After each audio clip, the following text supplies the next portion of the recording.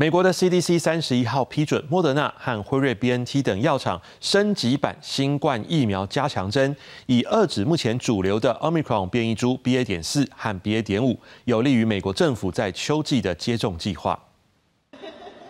要阻挡冬季来临时可能面临新一波确诊数暴增情况，莫德纳与辉瑞 BNT 次世代二价疫苗将可派上用场。美国食品药物管理局 FDA 批准这两家公司新冠病毒疫苗加强针升级版的紧急使用授权，也是第一个直接针对目前最主流的 Omicron 变异株 BA. 点四及 BA. 点五的加强针。莫德纳适用对象为十八岁以上族群，辉瑞则针对十二岁以上族群。The updated boosters contain the same basic ingredients.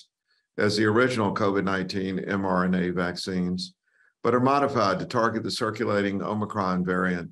为了抵御开学季以及人们因天气变冷而花更多时间待在室内而可能出现确诊数增加的情况，美国政府已定下1.05亿剂的辉瑞及6600万剂莫德纳次世代二价疫苗。辉瑞甚至被妥现货九月九号之前就可先供应一千五百万剂。Is not just to increase the antibodies right now, but also to hopefully give us a longer duration.